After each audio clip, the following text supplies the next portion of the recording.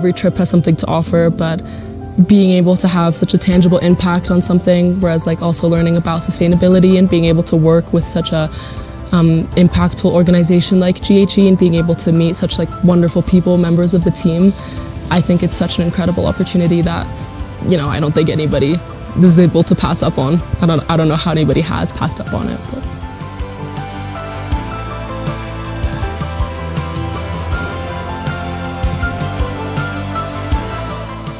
Been um, definitely a culture shock. Um, when I arrived here, I was surprised by the landscape. Um, I don't really know what I was expecting, to be honest, but it definitely wasn't this. Um, the altitude definitely took some uh, getting used to. Um, I didn't expect it to have a big impact on me. I thought it was quite um, uh, a fit person, and I realized that it had nothing to do with that, and it affects everyone differently. I'd really like to help out my own country. I feel like it'd be really interesting to at least give back because India's given so much to me. It's such a big part of my personality, my identity. So I thought it'd be great to give back to the country that, well, gave me all of its greatness. So the reason I chose this trip was because, well, first of all, I thought that the service was extremely important. I thought like it would have a really significant impact on many lives and I yeah I wanted to be a part of that and yes I also thought that it would be an incredible place to come to and would really kind of take me out of my comfort zone which I thought was an important thing to do on a PDW.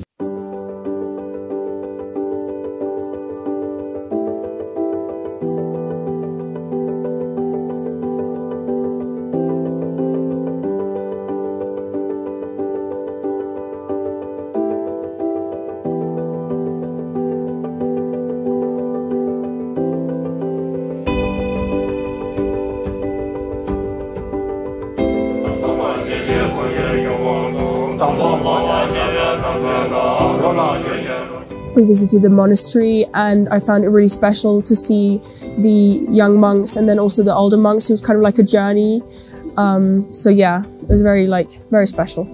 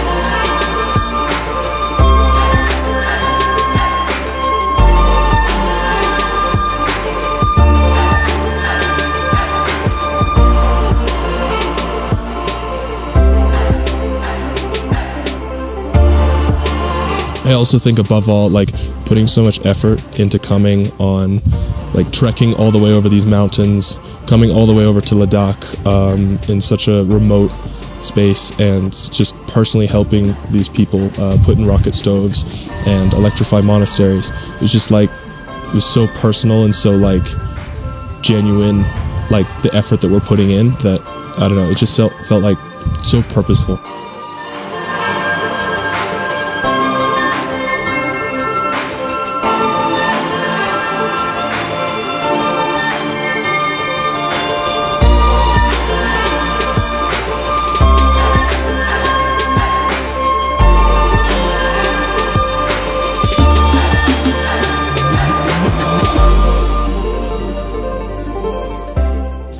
Most important day because we installed all the rocket stoves. We got to meet all the villagers.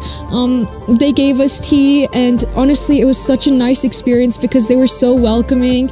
And I just like, I even gave one of them a hug because, like, I don't know, I thought, like, you know, Um, they were just so so sweet, and I loved seeing their homes. Their homes are actually very very comfy. Like um, it did not hurt kneeling down or assembling the rocket stove or anything.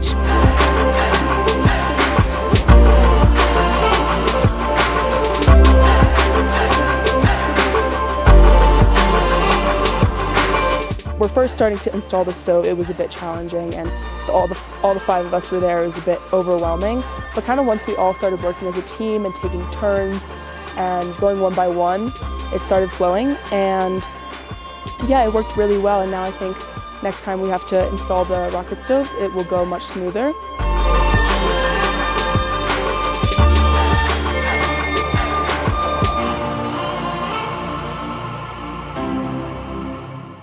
Just finished doing our second installation of the uh, stoves and I think we're getting a little more familiar with it. Um, this time we did it mostly by ourselves um, and hopefully by the last one we'll have it down to an art. Uh, it was a really cool experience and um, uh, just really lovely to be welcomed into their homes and to giving us tea and just so hospitable and so it, yeah just really nice overall.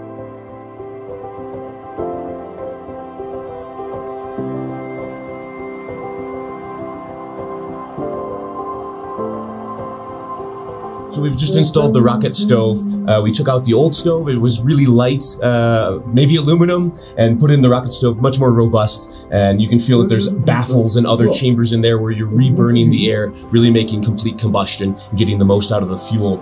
It was uh, fun to see the students install this, working on leveling it, going up on the roof and making sure everything fits and is in line with each other um, and making sure the, the, the, stove's ready to use. And then we light it for the first time. We bring villagers, uh, the, the, owners of the house in and make sure that it's up to their requirements and then see if we can get it uh, running um, and get the vortex rolling. And when it gets hot, you can really hear the, the flames uh, pulling air in and getting that complete combustion and throwing out as much heat as we can.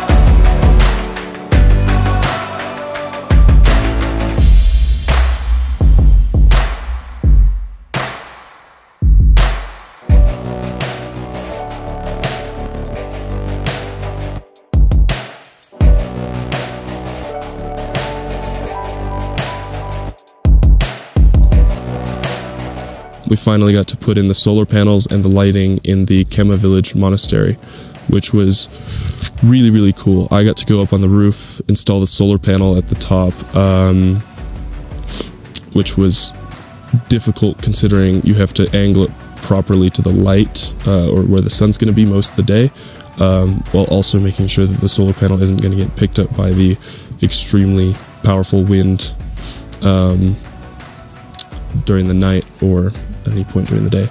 Um, I also stayed after to uh, fit, finish all the lighting and the um, circuitry.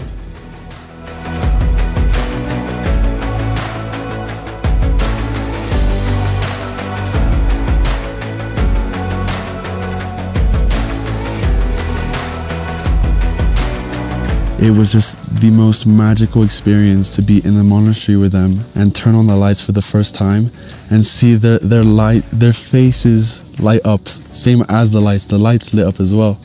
And I was just so so happy that our work was useful. And even seeing that one of the lights I had like worked on was working was just amazing knowing that for a long, long time, a light that I had worked on would be working in the monastery and would be useful for the villagers. So that was definitely the highlight of the trip.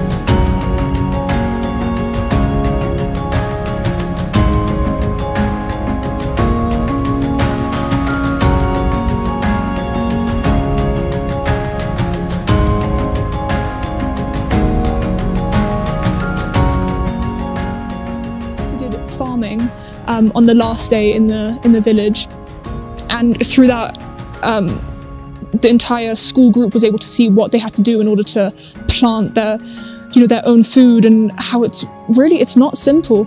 And what stuck out to me was that you know I was really proud of myself for literally planting like three small broccoli um, kind of like stems or samplings and um, you know I, I, think back to when I'm at home and I don't really I don't really think about that. I don't think about how people are growing these samplings and how uh, how special not special but how valuable they are um, to the community. And it made me think about how I should reduce food waste and how I should not you know take things for granted because for some people it's not easy to have just a lot of broccoli on their plate. You know they have to plant it, they have to harvest it. It's yeah, so I think I'll definitely take that away when I get home and I'll definitely continue to think about that when I'm eating my food and also when I waste food. So yeah, I'll definitely think about that.